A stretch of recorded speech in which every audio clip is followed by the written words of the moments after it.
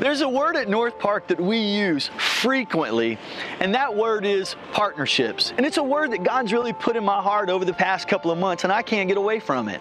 And the reason is there are so many different organizations and people that are working so hard to promote positive life change in this community. And although we may do this in a different way, um, the mission is really the same to build lifelong followers of Jesus.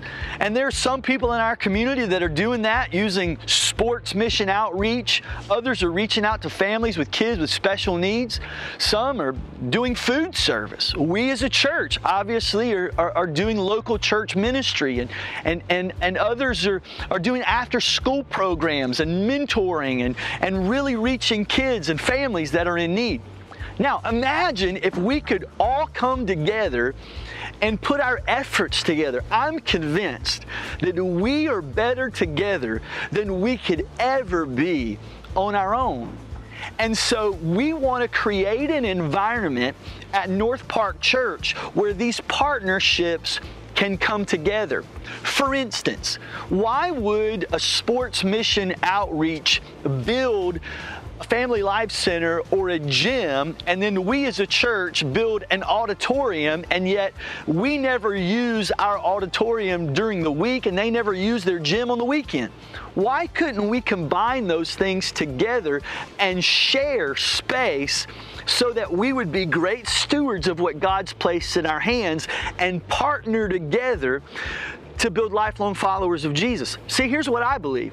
I believe that life change, this life change we're after, happens in the context of meaningful relationships. And we want people in our church family to be in meaningful relationships. So why would we not be in meaningful relationships with other partnering organizations in this community that we could help one another effectively pastor this city?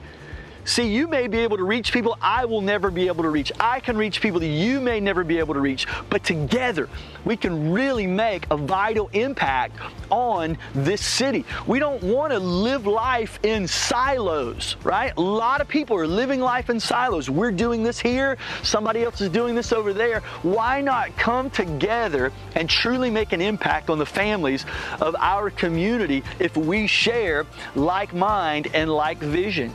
There are other partnerships that are going to be happening here as well. And I am really excited about joining and linking arms with people who love Jesus and love this city. We are truly better together.